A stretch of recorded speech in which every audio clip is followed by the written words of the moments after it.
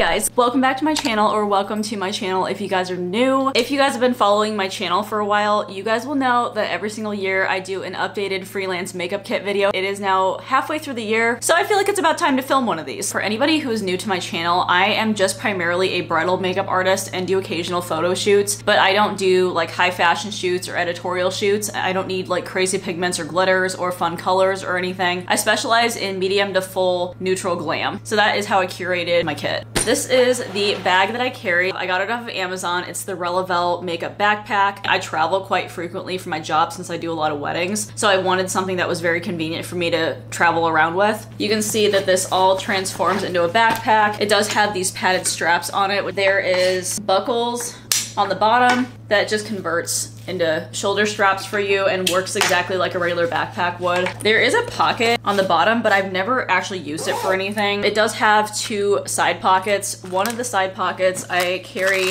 makeup remover wipes. I got like a crap ton of these at one point in time. I got the MAC Micellar makeup remover wipes. I like these way better than the original ones. The micellar ones are a lot more gentle on the skin and also don't cause allergic reactions. The other ones, I don't know what kind of ingredients they have in them, but I know of a lot of people who are allergic to them. You can also put tissues in here if you want to. Unzip this and then feed the tissues out through this little slot. I've never used it that way, but that's the way that you can use it if you want to. If you flip around to the other side, there's another side pocket. I keep tissues and paper towels in here just to clean up after myself, obviously. Then there is a clear pocket. You can use this for IDs or you can also use it for your business cards, which I just put my business card right there. This is what I like the most is that it has so many freaking pockets. Little zipper pouch in front. Um, I don't really use it for anything, but there's a possibility for it there. Side pocket right here. Um, I usually store my bride's contracts right there because I fill out like consultation sheets for them after the bridal previews. I love this pocket the most. There is a mesh pouch that you can put a whole bunch of things in. I usually just carry a thing full of these individual lash glue pods. I recently found these from Family Dollar and I carry them around to put in people's touch-up kits for people that have lashes on. Sometimes I get clients who don't want lashes, but if they do, I'll go ahead and put them in the touch-up kits for them. I have oil blotting sheets. These ones are ones I just got off of Amazon. They're the green tea Enora ones. I think that's what they're called.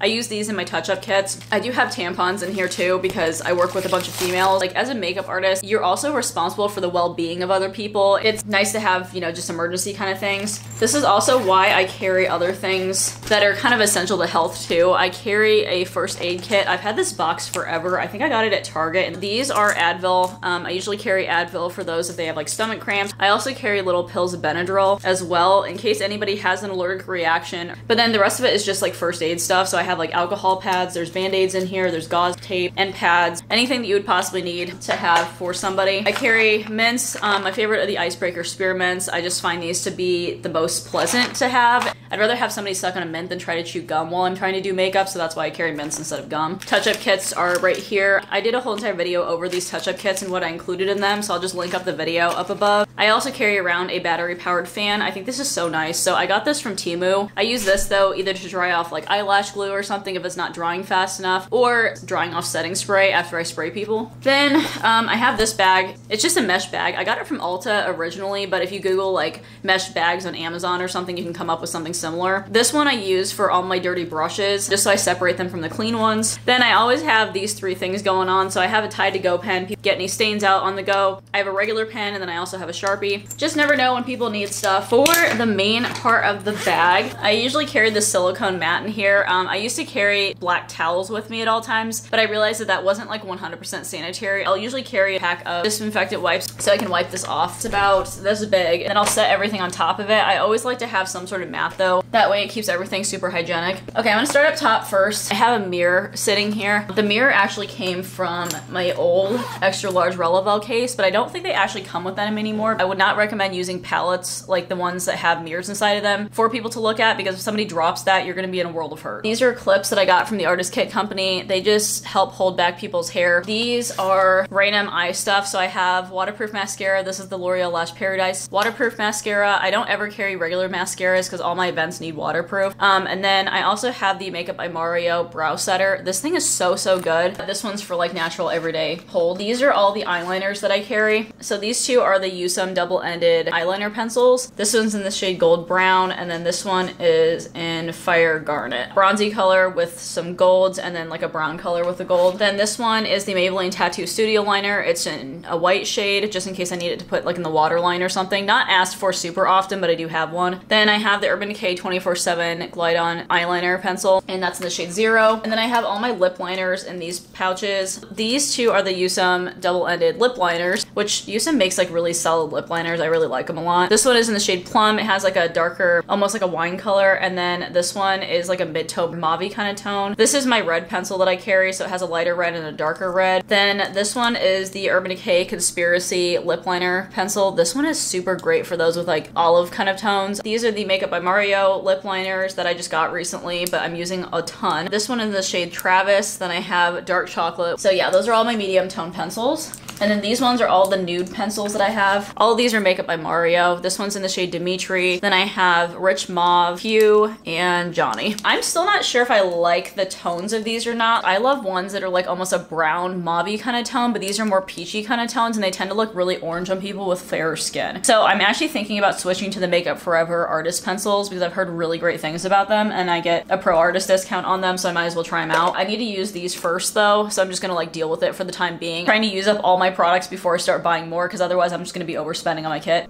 Comment below if you can relate. when you originally get this bag, it's a set style bag, so it has a bunch of foam inserts in it, but those always get so messy and so dirty. They're so hard to clean. They always get stained. So I removed all of the foam inserts and then replaced them with all these plastic containers on the inside, and now they're like a lot easier to clean. All of these containers right here are actually pencil holders. I got them off of Amazon. This big one right here actually came from a bathroom organizer set that is sold out on Amazon currently currently. Came with this set right here that has the six different dividers. They haven't restocked it in like over six months, so I don't know if you can actually get something like that anymore. But I do know that Muji, if you guys have a Muji store near you, they sell something identical to this one and this one. I just don't have the links for them because that's not where I got them from. This one came from Muji. I had to order them offline. They're the cotton bud organizer cases. I have this one. And then there's also this one too. It just doesn't have a lid on it. And then these cases are from the Artist Kit Company. They're the box 1.0. It just makes it a little bit easier to get disposables out of here.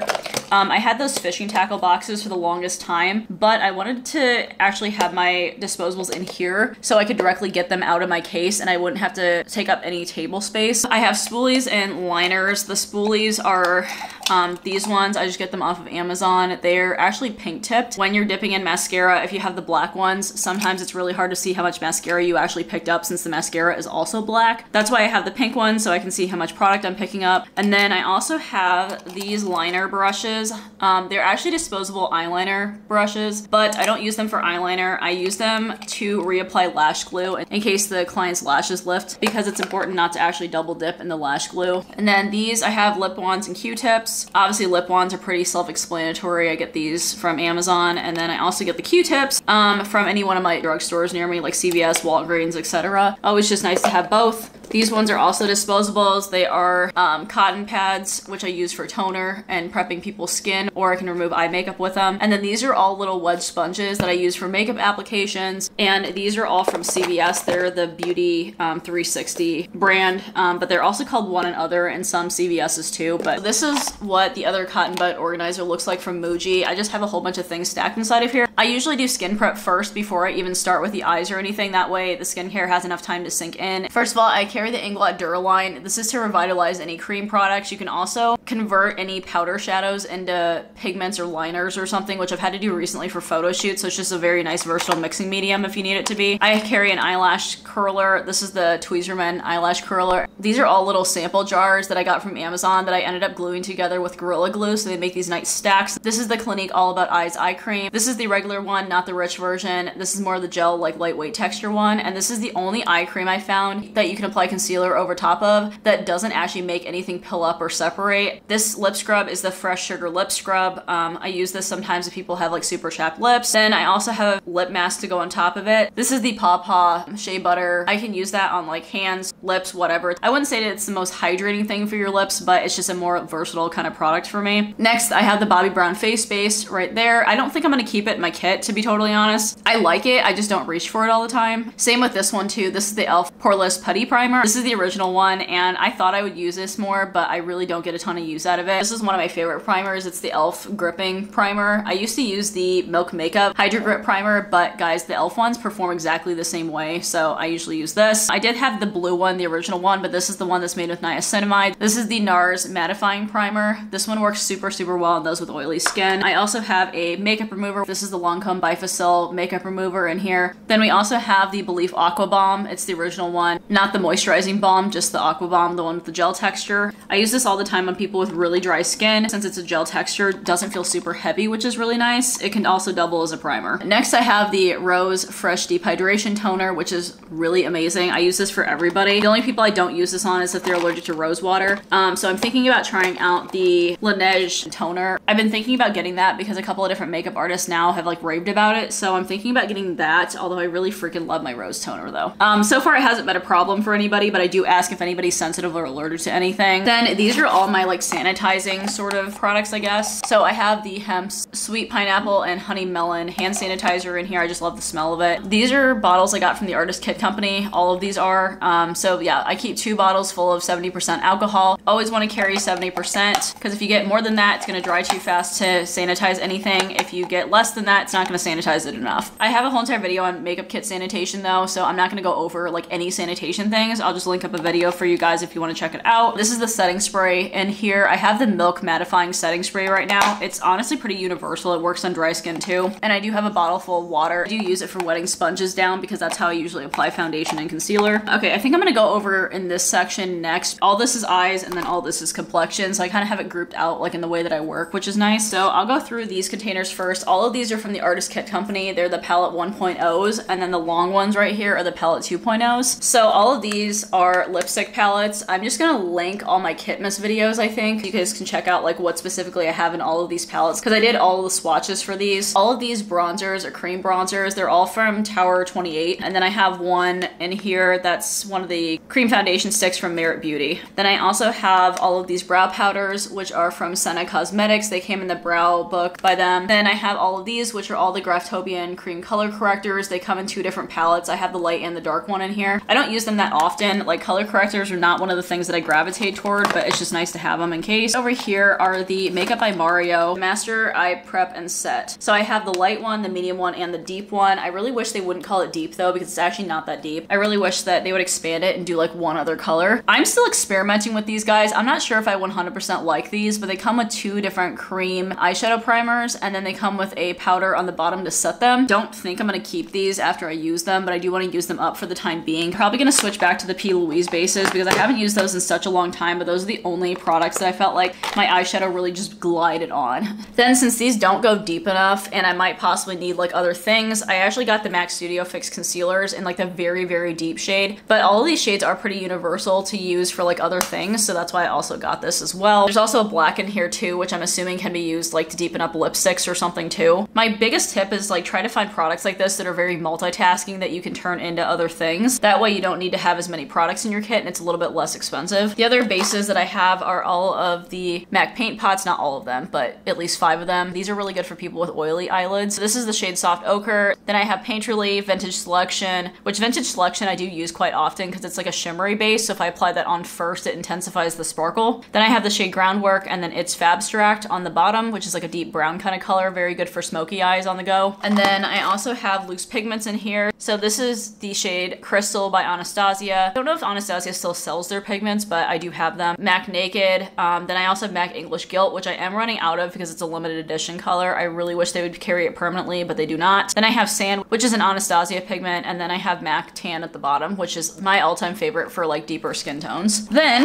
um, I have all of my liners. Again, I don't really experiment that much with like colored liners or anything. I just need the basics. So I carry Inglot liners. I really love them a lot. Gel liners are by far the most sanitary version of liners even more than actual pencils because you have to scoop these out and put them on a palette. So yeah, Inglot 77 is the black one. Then 90 is like a really, really deep brown, still matte though. And then I have a brow gel up top. This is the one that I use when I really need to hold like the brows in place or spike them up or something. Um, this one is the e.l.f. brow gel. It's pretty much a dupe for the Anastasia brow freeze that I used to carry for the longest time. I just don't use it super often. Next, I have a whole bunch of these little sifter containers and they are from Amazon, of course. I have four different colors of loose powders in here. I mainly just use loose powders. I don't have a ton of like actual powders in my kit. So I have two Huda Beauty powders. I have one in the shade Sugar Cookie and then the other one is in the shade Pound Cake. Pound Cake is by far my most used one. I also have One Size Beauty Translucent Honey and then I also have the translucent dark one too. Basically covers all my skin tone ranges. Then I have all my eyeshadows. So I carry the Natasha Denona Glam palette. This one is all my cool tone kind of shades and it has like some champagne tones in it too. I also carry the Patrick Ta Major Dimension eyeshadow palette, which I really want to get the second version, which is the rose gold one. This is just the first one that has all the warm tones in it. And then I also have the Makeup by Mario, the Master Mattes. Next, I have the ColourPop um, palette in here. This is the Smoke and Roses palette. And I just depotted all the colors and then put them into this Artist Kit Company palette. Those are for all my pink shades right now. I have all my colorful shades. These are all Viseart Cosmetic shadows. So I have the Dark Mattes palette on this side and then the colorful mattes on this side. So just in case somebody wants a colorful look. Then this is a whole entire palette with blushes and bronzers for me. I have powder bronzers over here. These are all Huda Beauty Glowish bronzers. And then all of these came from the Rising Star Cheek palette from NARS. I used an arbor press and repressed them into here. I'll go ahead and link up my blushes and bronzers video for you guys from the holiday series that I did on these because it shows you guys how I depotted and like repressed them. I'll link that video up above because I'm sure there's going to be questions. Then back here, I have my false lashes. I keep them in this Vueset Taxi palette. You can get them off of Camera Ready Cosmetics. I cut all the individual lashes up instead of carrying packs of them. That way I can fit like a ton of lashes in here and I don't have to worry about refilling as often. My favorite ones are the Ardell Naked Lashes. I use them the most often. These are the Ardell 420 lashes, just very short and wispy, almost look like lash extensions. These are the Ardell 421s. They just look like this. They're a little bit longer. And then I got these lashes from Temu.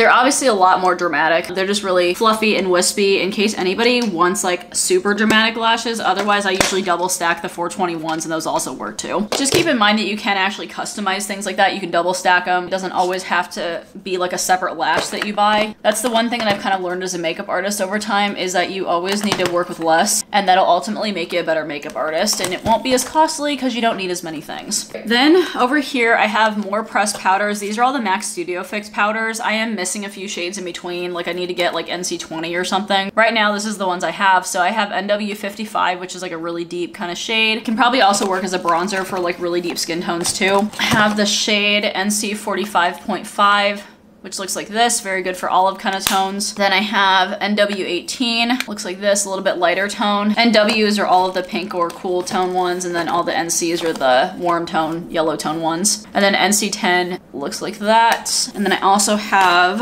um, NW25 and that one looks like that. I also have this MAC highlighter that's like randomly chilling over here. It's the Mineralized Skin Finish, and this is in the shade Lightscapade. I usually use this on like mature skin because it's not super sparkly or glittery like the other highlighters are that I carry. All of these in this section are my foundations and concealers. I use very, very minimal products for complexion because they're the most expensive to carry in your kit. I only have about like five to six shades of like each type of the foundation, and then I just mix all of them. Best tip for foundations, buy the lightest and the darkest one, and like maybe two or three shades in between and then you mix all the rest of them and that's all you need. You don't need every single color in the range. And that way everything can be very, very easily condensed. I do also have all of them in these airless pump containers which have clogged on me. Don't know if I want to keep them in here, but for right now, most of them are working for me. So starting over here, um, I have three body highlighters. They're like liquid body highlighters. Two of these are the Melanie Mills Body Gleams. Um, so I have it an Opal and Peach Deluxe. And I have one from Item Beauty, which is in the shade Zap and that's like a deeper bronze kind of color. So I have all my skin tones covered. And then I have two from Face Atelier, which are the foundation brands that I carry. But this one is in the shade two, and then this one is in the shade three. I'll use these for body highlighting my brides. Um, all my foundations are silicone based, by the way. I just like silicone based ones because they tend to sit better on like mature skin, fill in fine lines and wrinkles a little bit better, and do better with pores. And silicone based foundations are the same foundation bases that airbrush makeup is made out of. They're just in a liquid form instead of coming out of a compressor. Since they all have the same bases to each other, I can intermix any one of my foundations and it'll work together without separating. A lot of the times when I hear makeup artists having an issue with products separating, it's because they don't get their bases right. You'll have to like look up the ingredient list in every single one of them and just see what the first ingredient is. It's either the first or the second ingredients. Like sometimes it'll say water, but then it'll have like a silicone after that. So you'll just have to make sure that you know like what the base is. I do also carry all satin finish foundations. Since all of them are satin finish foundations, I usually can prep for oily or more dry skin and switch up the bases and then just set with more or less powder depending on the skin type. And then I just pick based on like what coverage a person wants. The reason I carry Face Atelier foundations though is because they have a really phenomenal shade range. They last for a really long time and they also have primers built into them. So you technically don't even need it to use a primer if you don't have time to do it and you can just cut out a step. But they also have shade adjusters, which I really, really like. For the actual shades, I have zero, which is like the white shade. That could technically be a shade adjuster. Then I have 0.5, 1, 4, 6, and 12. I normally have 8 as well, um, but I just ran out of it and haven't restocked, but I do also carry 8 usually. And then these are some of the shade adjusters that I carry from them. Pretty much like a lot of the primary colors. So I have the heat adjuster, which is the red one, make things a little bit more of a red undertone. Then I have the olive adjuster, which is really good for those with like either Asian or Indian skin tones. And then I have Blaze, which is yellow. Then the blue one I recently started carrying, but this one's really essential for neutralizing anything. So like if something's like too orange or something, you can mix in a little bit of blue and then it'll tone down the oranginess a little bit. By the way, the Face Atelier foundations are a medium to buildable full coverage. I would say more on the medium side though, and they just look very skin-like. I would say that the Charlotte Tilbury ones right here, which are the Charlotte Tilbury Light Wonders, are my dewiest foundations just because they are lighter coverage, but um, I don't use them like super often. So this is the Charlotte Tilbury Light Wonder. This is in the shade 1, and then I have 4.5, 8, and 10. I also did carry 6 at one point in time too, but I ran out of it. So those are the ones that I have for now, but to be completely honest, I don't know if I love them. I think I might switch to the Dior Face and Body ones because I've heard really great things about those. They're just really pricey, and I don't get a pro discount on that. then these are all of my full coverage foundations. These are the NARS Natural Radiant foundations. I feel like a lot of different makeup artists have them in their kits. I carry Mont Blanc, which is the lightest one. Then I carry the shade Santa Fe, Tahoe. Then I have Vanuatu and Marquise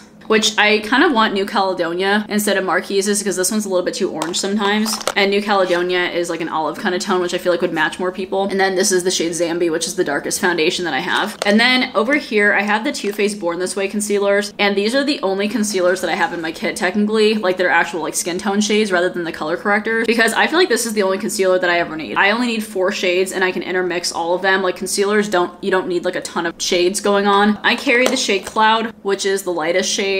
Then I have the shade Light Beige.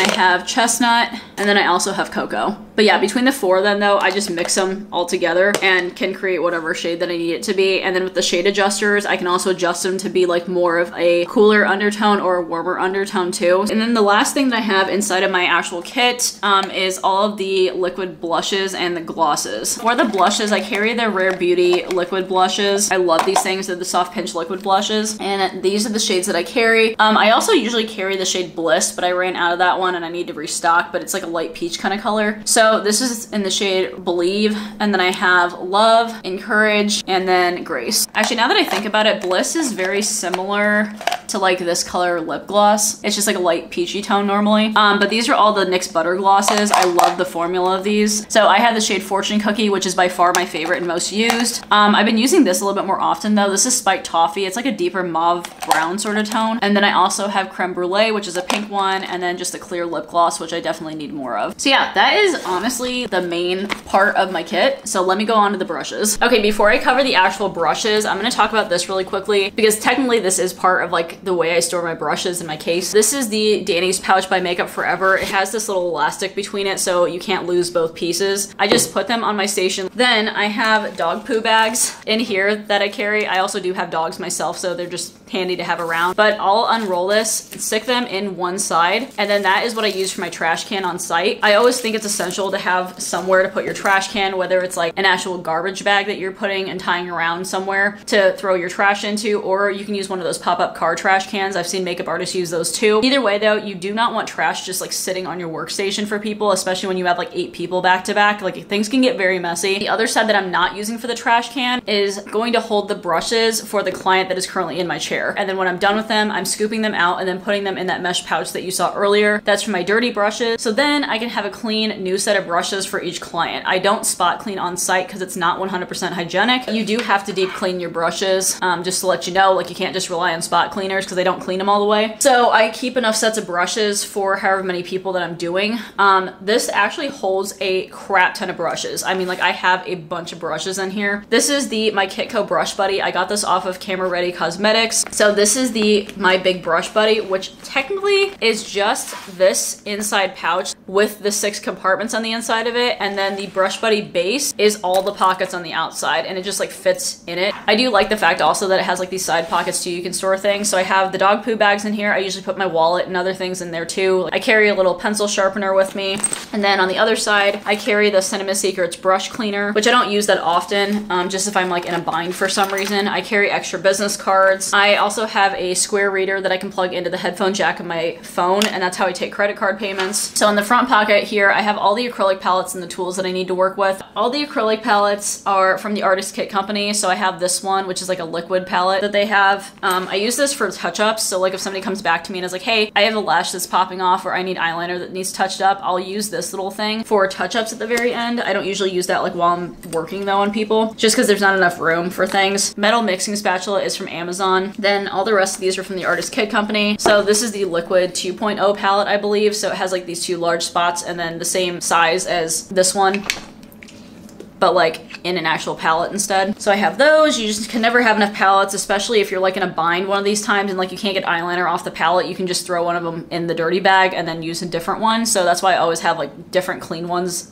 ready to go. These are the other acrylic palettes. They're just flat palettes like this. Then these are the tools that I carry. Right now I have the Kiss Lash Glue. This is the super stronghold one. I really like this one a lot. Dries super quickly and sticks for a really long time. Cuticle scissors um, for cutting lashes. And then also if somebody needs to cut like tags off dresses, which that's happened multiple different times. I have a pair of scissors. Then this is a lash applicator from Tarte. I usually never apply lashes with my hands. I've always applied them with lash applicators. Then in the top section, I'm not gonna go over all the brushes that I have because I did this in one of my um, holiday series videos. So if you guys wanna see like what specific brushes I have, go ahead and check that out. For right now though, this is what it looks like. It's just organized in six different compartments. Foundation brushes, like denser ones here, powder brushes. Then I have the highlighting or primer brushes here, all the fluffy eye brushes, eyebrow brushes, liner brushes, and then the concealer brushes and lip brushes over here. So this is honestly pretty good for about like 10 different people, to be totally honest. Um, so I always am able to have like a clean set of brushes for every single person that I do, and I don't have to take the time to spot clean on site. Again, not 100% hygienic, but then also saves you like about five minutes in between each person to like clean brushes, and I can just move on immediately to the next person. I think I got done with that a lot quicker than I've ever gotten through any of my makeup kit videos. I will be providing all the links or as many links as I can get um, for all the items that I mentioned below. I'll be also listing out like foundations and the colors that I keep and everything. So if you guys want like a master list of everything and you don't want to go back to the video to reference it and try to find it, then I'll go ahead and just link everything for you guys. Hopefully that helps.